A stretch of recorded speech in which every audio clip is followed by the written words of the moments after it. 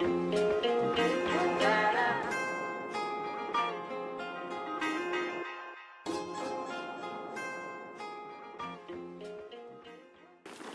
let's do Drag this. it on top. Yeah, let's move this guy. That. And then we got draft horses around here. Why are we doing this? and then we'll roll it out. Let's go this way. See how there's dry spots, and wet spots, and stuff like that? We're gonna have to get this thing wet. It's a big roll.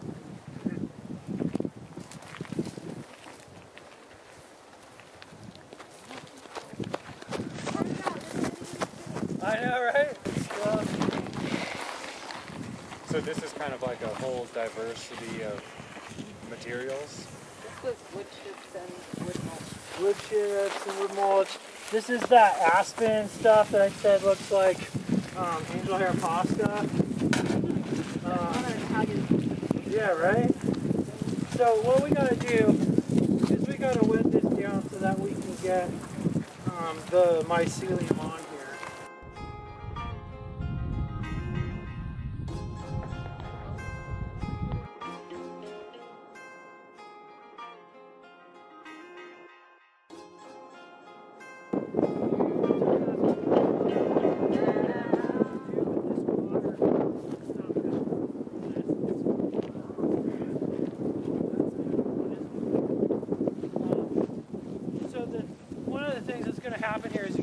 water, is going to float wood chips back up, right? We're not really concerned about hitting this plug and like pushing it out because this has a lot of stability, you know, in the way that it's going.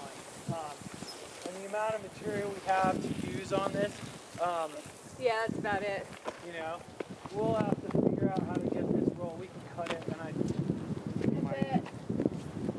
have a knife on me, but we can um, maybe cut it with. Yeah, that would work.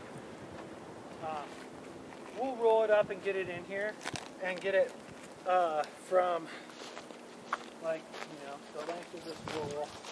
We'll try to get it so that we compact it down in here a little bit so it sits in here and it doesn't completely block the flow because you do want water to be able to percolate over it and stuff so that this thing functions like it's supposed to.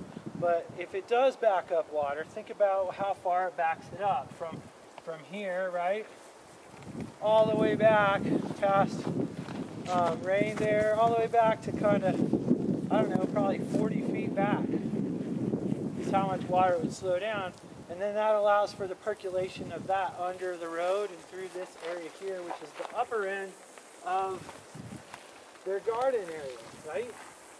What's giving it, what's giving that area water if it doesn't have anything to kind of percolate through from from up here at this end? So that's kind of a good site choice for the function of the landscape, right?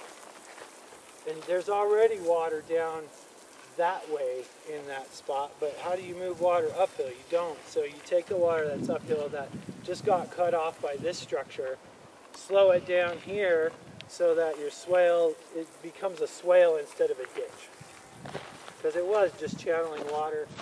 Starts to drop over there, so you have to put some check dams in there. And um, Greg was talking about that today. Checks hold that soil here so we don't lose it.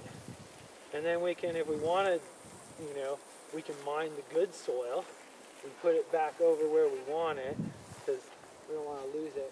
Or we figure out a way to use that moisture-rich check dam type thing and plant in it. We got some options. And since this is a pasture, I don't know if it's always going to be a pasture, but if it is a pasture, um, you're going to have a lot more nutrient load in the water, which will be helpful for this thing to grow too. So uh, Greg's got this thing wetted down a little bit. Let's move this one too for now and figure out what we can do with it. Might use one of those as topping. We might have, after they got wet, it's much more obvious how big they are, right? They expanded quite a bit. So seeing the material at work is important. Um, let's move some of this stuff off to the side for now. Generally speaking, generally speaking, the this um, ponderosa pine bark isn't really going to work for us right now because it's too fresh. It has a lot of uh, the oak, or sorry, the pine sap in it and stuff like that. At some point, it'll be useful as a food, but it can also be used to kind of slow down water that comes through this system as it goes out that way and percolate and slow down the flow. So we'll, we'll use it like that down there. Um, next step is this. This is from the Fahrenheit Coffee Roaster. Some good coffee chaff. Thank you, Matthew. You see that? So if you guys want, let's um just between here and the roll, let's lay this in there a little bit. Sprinkle it in. Um, it's super light and fluffy. See that? It's like perfect food. So easy for it to eat and consume. And it adds a really good um, component. And so here's how I would do that. I would just, you know, make sure it gets out to the edge of the row. But um, just sprinkle a light little bit through there. And uh, don't be shy. So earlier you said that you didn't like to grow on coffee. I think Coffee grounds. Coffee grounds. Yeah. So this stuff is actually the usable stuff that, that I would use. If I had coffee grounds, I would put it in the mix too. Um, but if it was just straight coffee grounds, What is it it, does about that, that? thing. It gets clumpy and it's it doesn't want to. It doesn't have a good structure to it. So it's difficult for the mycelium to move through. Yeah, and it's also highly acidic. So, um, you know, you want to kind of keep things when uh, the, the mushroom itself, when it goes into fruiting, will drop the pH and create an acidic environment. Then Yeah. let's spray this um, berm here on the side so that we have a little bit more moisture around it and uphill of it, so that when we lay it in here, it's got a little bit better spot to kind of work with. Do you ever put compost in something like that? Uh, I put compost. Yeah, I would put some compost in here. A little bit. Yeah, just to give it kind of a good mix of things, you know? Right. Like the more diverse it is, the better it's going to be. Based on, you know, like available materials, like how much material you want to have, like higher inoculation rates. If you're going to go, you want like really aggressive decomposition, breakdown stuff right now, then get a huge amount of material, hundreds of pounds, right? Get it mixed in, you know, your ratios of wood chips to your spawn would be, um, you know, one to one is one bucket of spawn and one bucket of wood chips, right? It'll eat that up like that. It'll colonize it really fast. If it's uh, 10 buckets of wood chips and one bucket of spawn, then that's actually a pretty good inoculation too. That's pretty high. 1 to 20 is about where people like to go with stuff. And in these long-term projects, you know, you got time.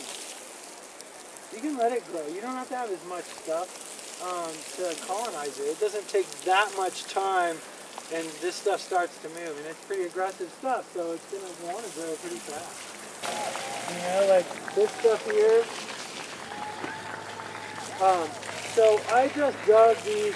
Here's like a little chip you can pass it around or whatever, you know, like, um, there's a couple chunks there. And, you know, this stuff, and then when you're done looking at it, you can just chuck it back on this thing, you know, like, check the little white strands in there. This kind of stuff, um, the, the, these kinds of wood chips and or these, this kind of material, um, or mycelium, sorry, is actually like is uh is really cordy. Okay, each each type of mushroom mycelium offers a different characteristic. And these ones, if you find the right wood chip or whatever, um, you can break open a wood chip and see that it doesn't even touch the inside. And it's all over the outside, right? So it's still got a long way to go before it's satisfied on that piece. Um, if you see the right piece, you can see how thick and cordy the mushroom mycelium is. That's a characteristic of this type of fungus. The Stropharia rugosoannulata is a thick, cordy fungus. When I'm digging through my landscape and I'm looking for this one, that's what I'm looking for. I'm looking for just that specific cordy stuff growing out. Um, it makes it really special because then you can take a piece of mycelium and you can hold up several pieces of wood chip because it's strong. Mean, it kind of holds the ground together in that area, right? So you can use it for bank stabilization. You can use it for in places where there's a lot of erosion. You can use that as as one of your components, so that it kind of holds it there, and it makes a resilient soil structure in where you're at. Even in permafrost soil, I was speaking with this guy, he's a um, professor uh, up in Montana, but he was like saying they were working with soils that permafrost and found like mycelium in it, and it was actually holding the, the whole landscape together. Right? Because you have these different layers of like heat and stuff You guys like want this right here? Let's um spread that out a little bit. So this is I want to show you guys this stuff. This is what I was talking about that gets clumpy, okay? So you can see how it wants to clump. When we put this down, we want to we want to go like this. Okay? So it gives it little tiny chunks to eat, right? Um, with those other chunks that are soft and friendly. And if we all get in on this, I think it'll work faster with this. And we can get away from 90 degrees outside. What is this again? This is one of the mulch types that they offer at um, at that uh, Excelsior plant, and it's fine aspen powder. They call it aspen mulch. Will that plastic mold ever break down? It will. It's photodegrades, It's photodegradable. Mm-hmm. which means it breaks down, but it doesn't. In my opinion, I don't think it disappears. It's like smaller and smaller. It's just smaller and smaller pieces, so you can't So see the it. sun when it breaks into it. Yeah. So it doesn't disappear. It's still plastic. Was there something that mushrooms would eventually recognize as a food source? I hope so. I hope so. I think that there's, uh, I think each mushroom has its own kind of thing it keys into. I would say oyster mushrooms would probably be better at eating that. If it could eat them. But I've never actually tested it on it yet. So I want to get like a raw mouth and like, you know, see if I can run it through a lab setting that does that. So let's use that stuff up if we can. Um, if it's got dirt in there, I'm, I don't have a problem with that in there. There's what we're working with. We'll probably be able to deal with that. Did you ever spray some uh, molasses at, at this point? You know, you could If, put. if you Yeah, right. You could you could do that. Um, but it's there's enough food in here that I don't think it needs that to kick. Like, if I was doing a liquid culture, I might do that. Yeah, if we wanted to invigorate them later. Yeah. Um, so this stuff before I pulled it out of the bin that it was last in, okay, was white and fluffy. It has been carried, it has been touched. And so what it does is it breaks it so it's no longer just white and fluffy. You can't even see the fluff anymore. Okay? You just see like the kind of how it's been affected and handled. So it's kind of relaxed a little bit. It'd be like your lettuce plants in the late afternoon in the sun, right? So what we're gonna do is we're just gonna sprinkle this around on top of this surface as well. We're just gonna kind of go get this stuff like this and work our way to the end and we'll see how much we use. And somebody can come in behind and spray it down a little bit, which means it's gonna get, this stuff's gonna get heavier. This- so if you wanna spray, go for it.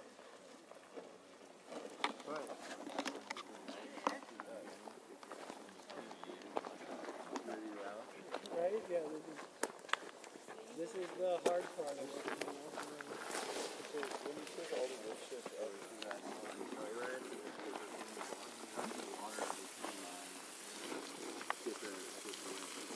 I, I watered everything up there.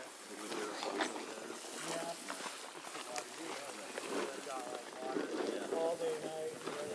So it's kind of cool to be able to do that. So at the bottom of this bag is the stuff that came from last year's permaculture convergence. So there's a little bit of stuff from that. Um, and spreading the and so we're going to wrap it around that core. It's going to grow through and into that core. And then we'll um, lay that in here. And then we'll pack this stuff around it. We'll see where we're at.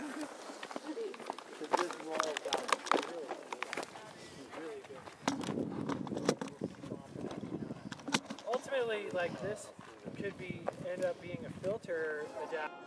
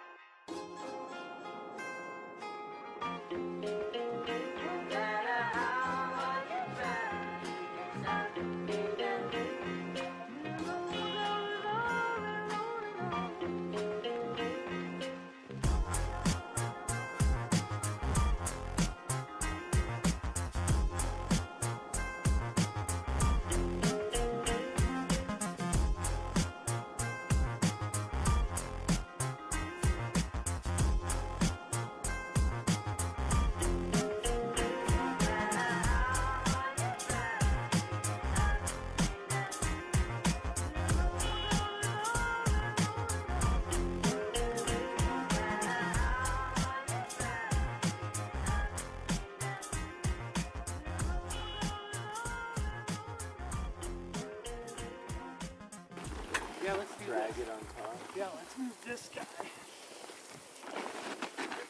That. And then we got draft courses around here. Why are we doing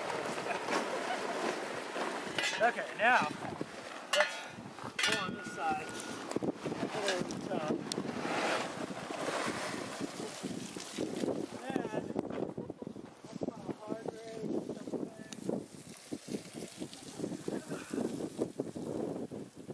We have enough material for this. This is just a small piece of it. Debbie will do more of this when we we'll do another one with more material later.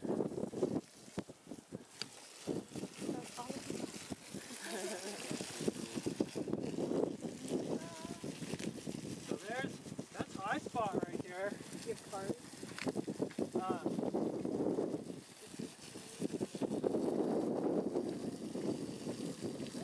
I can tell you right now, you know, like um, that spot right there, that high spot, is going to dry out quite a bit, right? So, packing this good stuff in here, getting it really wet, and then we're going to have to lay some more material over the top so it doesn't dry out.